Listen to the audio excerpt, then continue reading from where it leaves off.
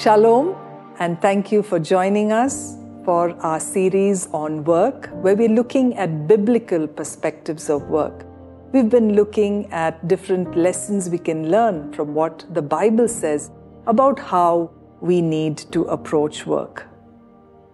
Every one of us have been blessed with God given talents. The Bible clearly spells it out in Romans 12 6, which reads, God has given each of us the ability to do certain things well. It is God who gives us everything we need to excel, everything we need to flourish and prosper in all that we do. We do what we can because God is the source of every good gift in our lives.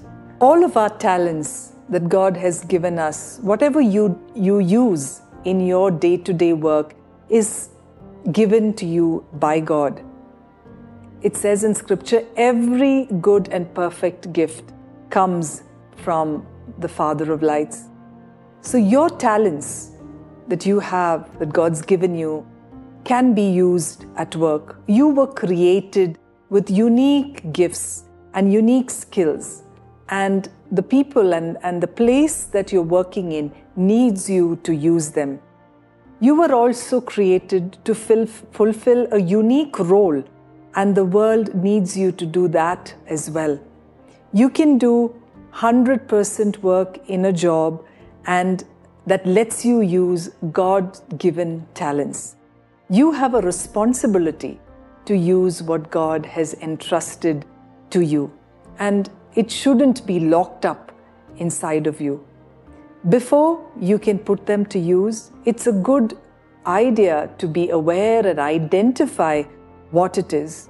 Identifying your God given talents is not an option. In fact, it's a responsibility because you have extraordinary things to offer because it's been put in you by God. And it means that you have an obligation to figure out what they are. Remember, God has made each one of us fearfully and wonderfully. And so every one of us has something to offer, be it at your home. It may be a skill that you have in decorating your home or making an excellent meal be it in administration where God's given you ideas and thoughts of organizing, wherever it is, you are called to make use of your talents. And remember, nobody has talents better than someone or more important than someone else. All of them are equal and important to God. So we need to put the talents God has given us into use. Let's pray together. Heavenly Father, we are privileged to know that you have bestowed us with talents and giftings that you want us to use in our work.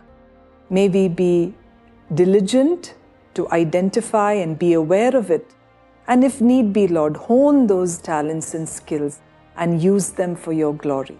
Thank you, Lord, for entrusting us with such things that help us in our work. We ask this in your name. Amen. Thank you for tuning in to Living Supernaturally. For more resources to strengthen your spiritual walk, please visit apcwo.org.